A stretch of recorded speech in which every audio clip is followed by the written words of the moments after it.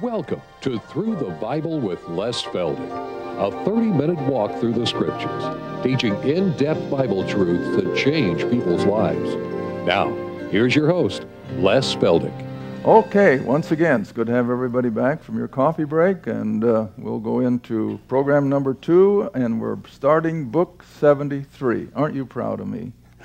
Book 73, and uh, as a rule, I forget to do that. Also, she wants me to again remind our audience of the one and only book we've ever published, and yet it's been so well received. Uh, it's just amazing how they keep going out. We go to seminars, and they just go by the boxful. Gary. And uh, if you are interested in that, it's 88, 88 questions and answers taken from our program material and uh, covers the whole gamut, saves me a lot of letter writing instead of having to answer them all. And, and I do. I, I answer questions in longhand.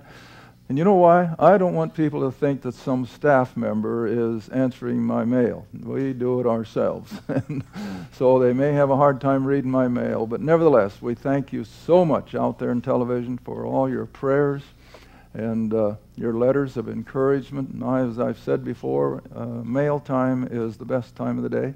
And then your financial help. We never asked for money, never have had to, and the Lord provides, but we still have to thank you for it. And uh, same way with all of you here. All right, we're going to keep on with uh, our teaching this afternoon on theophanies, and if we get beyond them, we'll go on to some of the uh, appearances of God in the incarnate. But hopefully, we can spend the afternoon on the Old Testament theophanies. And uh, we're going to bring you now up to Genesis chapter 12, where we have the next direct spoken appearance of the God the Son. And as I mentioned in the last half hour, whenever you have God speaking or creating or doing anything, I think I'm without danger of being in error, it's always God the Son. God the Son is always the creator. He's always the one who speaks things and they happen. And uh, he's the one that always has direct contact with the human race. Now, like I said, in programs to come, we'll be dealing with the work of the Holy Spirit, but that's something totally different. Uh, when God the Son speaks and creation happens, yes, the Holy Spirit is involved, so is the Father. But the Scripture, especially the New Testament, gives all the credit for it to God the Son. All right, but now let's come back to Genesis chapter 12 for a moment, and uh, we'll start at verse 1. We've jumped several hundred years now from Adam. We're up to Abraham at about 2000. Verse 1 Now the Lord, now again, the word Lord capitalized is Jehovah, and Jehovah is the I am, and the I am is God the Son. So here we come right back full circle. We're dealing with God the Son.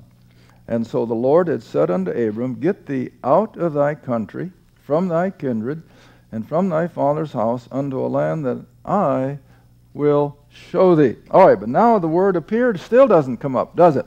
And as I said in the last program, I'm a little uncomfortable if I can't use the word appeared. And now I'm going to bring you all the way up to Acts chapter 7, where we have Stephen giving the whole rehearsal of Israel's history, starting with Abraham. And uh, he uses the word that I'm looking for. Acts chapter 7, starting at verse 1. Acts chapter 7, verse 1. I always like to give you time to look. And again, I had a letter the other day thanking us for giving time because I think all of our listeners must use their Bible while they listen to the program. And that's the only way we would have it. And so we do want to give you time to find these verses and see them with your own eyes because most people just do not know how to read and see what they're reading. They read, but they don't see it. All right, chapter 7, verse 1. And uh, we've been dealing with uh, Stephen up in chapter 6. So the high priest said, Are these things so? And Stephen answers, Men, brethren, and fathers, hearken. The God of glory appeared. What's the word? Appeared unto our father Abraham when he was in Mesopotamia before he dwelt in Haran. Now, the word appeared there is the Greek word optomatai, from which we get optometry, and it literally is translated visibly seen. And so here, Stephen, by inspiration of the Holy Spirit, makes it plain that the God of glory appeared visibly, physically, in a theophany. He did not take on human flesh like Christ did at Bethlehem, but he merely appeared to Abraham in human form and then went up from Abraham, as we're going to see in one of the other accounts in a little bit, how he left off and went up from Abraham, no doubt, back into that invisible Godhead that we pointed out in our last program. All right, now then, if you'll come back with me to Genesis chapter 12, here God appears to this pagan citizen of Ur of the Chaldees, evidently knowing that he had the ability to believe and be obedient to what he would have done. And so Abram then becomes the key player from 2000 BC right on up through to our own present day. Because everything in our Christian gospel, our Messiah, the Redeemer, the Savior, however you want to refer to Christ, naturally has to go back to this promise made to Abraham. All right, chapter 12, verse 1 again. Now the Lord had said, having had appeared unto Abram, and he said, Get thee out of thy country, from thy kindred, and from thy father's house, unto a land that I will show thee. I will make of thee a great nation. Now, never forget or lose sight of the fact who's making it happen? God is. This isn't just an accident of genealogy. This is a particular act of God that brings about then the nation of Israel. All right, I will make of thee a great nation. I will bless thee, make thy name great, and thou shalt be a blessing. I will bless them that bless thee, and I'll curse him that curseth thee. And history has proven that over and over that when a king or a kingdom or an empire turns on the nation of Israel in time, not always immediately, but in time, the wrath of God will fall upon them. And that's why we are so stressing constantly that you pray for America that we will never turn on his people, the nation of Israel. All right, but then the last part of verse 3 is where you and I come in. 2,000 years before Christ, but already we have the plan of salvation for the Gentile world alluded to. That in thee, in this man Abram, as he's still called here, in this man Abram shall all families of the earth be blessed. Now, of course, that's a reference to the fact that the Messiah would come to the nation of Israel, and as the rejected Messiah then became the epitome of the work of the cross. All right, so here we have God the Son starting the nation of Israel on its roll through human history by an appearance to this great man of faith, Abraham. All right, now then, if you'll go with me to chapter 17, and uh, we come over the birth of Ishmael. And uh, Isaac has not yet been born. Abram, thinking, of course, that Ishmael is all he needs to get a nation of people going. But now in Genesis 17, verse 1, now we've got the word that I'm always looking for. 17, verse 1. And when Abram was 90 years and nine, that's almost a 100. When Abram was 90 years old and nine, the Lord, now what's the word? Appeared, see? Visibly, physically, in human form, temporarily. And so he appeared to Abram and said unto him, I am the Almighty God. Now, the Hebrew word there is El Shaddai, the Almighty. Walk before me and be thou perfect. In other words, upright, be a mature man of faith. And I will make my covenant between me and thee, and will multiply thee exceedingly. Now you see, how this has to come from deity? Nobody but the Creator God could make those kind of statements. But God can. And He says, I will make my covenant between me and thee. I will multiply thee exceedingly. And Abram fell on his face, and God, see, don't forget, where does God the Son come out of? The invisible Godhead. In fact, that I always have to do this. Can't help it. Jump up with me to Exodus chapter 3, I think I want. Yeah, the burning bush. Got to be Exodus chapter 3. Just to make the point how that these terms of deity, deity become interchangeable even though we're only dealing with one person of the three, and it's God the Son. But all the terms of deity apply. Genesis, uh, Exodus chapter 3. And it's when Moses is confronted with the burning bush out there on the desert. Verse 5. He said, Draw not nigh hither, put off thy shoes from off thy feet, for the place whereon thou standest is holy ground. Moreover, he said, now watch this carefully.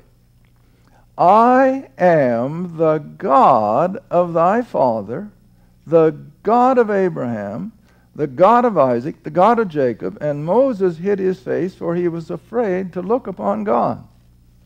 All right, now then, as you come down through the account of Moses dealing with God in the burning bush, you come all the way down to verse Oh, let's see. I don't want to skip any up in here, but come down to verse 11. And Moses again said unto God, Who am I that I should go unto Pharaoh and that I should bring forth the children of Israel out of Egypt? And he said, Certainly I will be with thee, and this shall be a token unto thee that I have sent thee. When thou hast brought forth the people out of Egypt, you shall serve me upon this mountain. All right, now we come on through then to verse 13 where Moses said, Behold, when I come to the children of Israel, and say unto them, The God of your fathers has sent me unto you. And they'll say to me, What is his name? And you remember when we taught this not too long ago on the daily program, why was Moses immediately interested in his name? Because every god in Egypt had a, had a name. That was just part of his Egyptian culture. If you're a god, you've got to have a name. And so that's what it, Moses is anticipating. The children of Israel are going to say, Well, what's his, his name? All right, Moses said, Behold, the God of your fathers has sent me unto you, and they shall say, What is his name? What shall I say? And God said unto Moses, I am that I am. Thus shalt thou say to the children of Israel, I am hath sent me unto you. Now, all the way through here, we find this burning bush voice. I don't think it was an appearance here. That's why I'm not in my list of theophanies. But here, this voice is the voice of God, but what person of the Godhead? God the Son. Well, now, the first question the doubter may say, well, how do you know? Well, the I am. I am. Turn back with me to John's Gospel. See, that's why we have to go back old and new. It's the only way it makes sense. Now you come back to John's Gospel, chapter 8. And we've done this before. But repetition is the mother of learning. So I never really apologize for repetition. But on the other hand, I sometimes uh, shrink from it a little.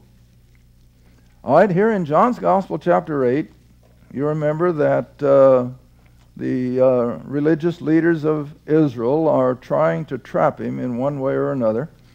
And uh, then in verse 48, they answered, or then answered the Jews and said unto him, Say we not well, thou art a Samaritan, and you have a demon? What an accusation! awful. And he answered, I have not a demon, but I honor my Father, and you dishonor me. So the conversation carries on up to verse 52. And then said the Jews unto him, Now this is Jesus, of course. I trust you know that. This is his earthly ministry. And then the Jews said unto him, Now we know that thou hast a demon. Abraham is dead, and the prophets, and thou sayest, If a man keep my saying, he shall never taste of death. Art thou greater than our father Abraham, who is dead, and the prophets are dead? Whom makest thou thyself? And Jesus answered, If I honor myself, my honor is nothing. It is my Father who honoreth me, of whom you say he is your God. yet you have not known him. Boy, now that was quite an accusation to the Jew, wasn't it? Because the Jew figured that by being the child and son of Abraham, they had everything they needed. No, they didn't. They were still without saving faith, even though they were under the covenant promises. All right, so Jesus makes it so plain that of whom you say he is your God, yet you have not known him. They were religious, but what? Lost. Lost. Oh, they had all the religion in the world, but they knew nothing of God. And Jesus makes it plain you've not known him, but I know him. And if I should say I know him not, I should be a liar like you are. What a statement. Almost unbelievable, isn't it? But I know him, and I keep his saying. Your father Abraham rejoiced to see my day. He saw it and was glad. Then said the Jews unto him, You're not yet fifty years old, and thou hast seen Abraham? See how this fits with our theophany? Of course he did. Face to face. All right? Then verse 58.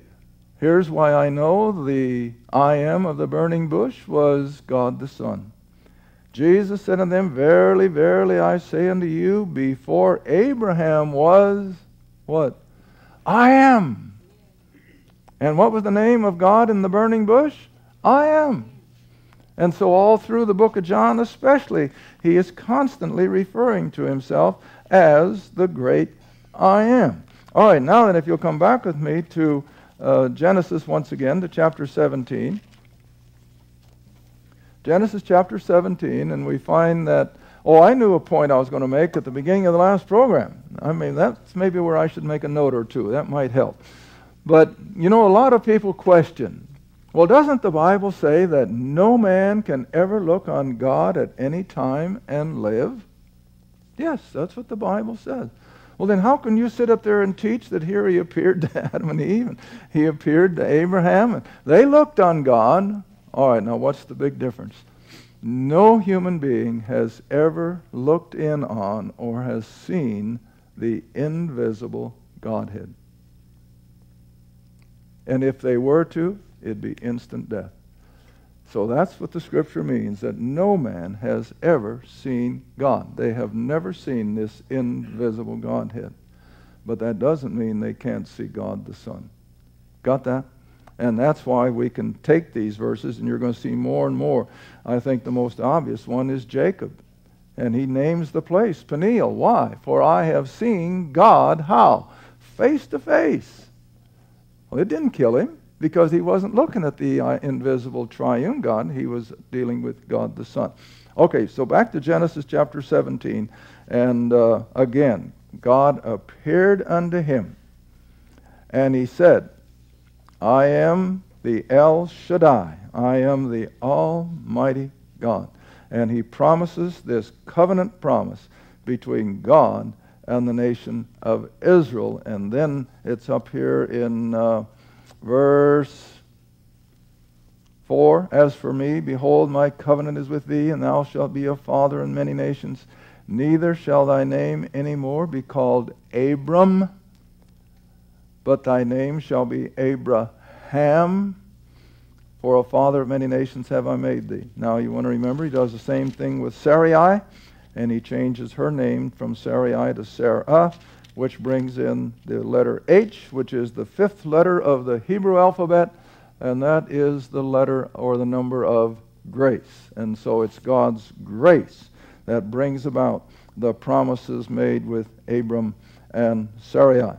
All right, now I think we can go from Genesis 17 to, let's see, let's go to another one, back up a chapter to chapter 16, and now we're going to deal with Hagar which means that God doesn't appear just to the godly men. He sometimes appears to the, the secular, the unbelieving. And Hagar, of course, would be in that. Hagar was the Egyptian gal from whom Ishmael was born. But nevertheless, God deals with her on a face to face basis. All right, in uh, Genesis chapter 16, we're going to take, it's been a long time since we've taught Genesis, even though you've been seeing it in the, the reruns. Uh, I'm comfortable with going over it again. Here in chapter 16 now, after having been promised a son that would bring about a nation of people, Abram gets impatient, doesn't he? Well, time's going by, years are going by, and still no son. So, of his own volition, and Sarah, of course, uh, encouraging it, he has a child by the slave girl Hagar. All right, now you know the story, and I think I can bring it in up at verse, uh, oh, verse 4 where now he and Sarai have connived together that he would have a child by this slave girl, which was in accord with the laws of Hammurabi. it wasn't immoral according to their custom. So uh, we, we can't put any uh, sinful con- connotation on it, except that God wasn't in it. This was something that they did without God's instructions. All right, so he went in unto Hagar, and she conceived. And when she saw that she had conceived, her mistress was despised in her eyes. Well, of course, that goes back again to Middle Eastern custom. To have a son is the greatest thing that a woman can do. All right, verse 5. And Sarai said unto Abram, My wrong be upon thee. I have given my maid into thy bosom. And when she saw that she had conceived, I was despised in her eyes. Now the Lord judged between me and thee. But Abram said unto Sarai, Behold, thy maid is in thy hand. She's yours. You're the one that's in control of Hagar. Do to her as it pleaseth thee. And when Sarai dealt hardly with her, she fled from her face. Now, verse 7 And the angel of the Lord found her by a fountain of water in the wilderness, by the fountain in the way to Shur. Now I got to stop again. I have to be careful because there are some of our, what we call cults, who claim that Christ is nothing more than an angel, and they like to use a verse like this to back up their false teaching. So let's right off the bat stop and let's pick up who is the angel of the Lord, so that there's no mistaking it. Come ahead with me to Genesis chapter. Oh my goodness. It should be chapter 40. 46 or 48. Where is it?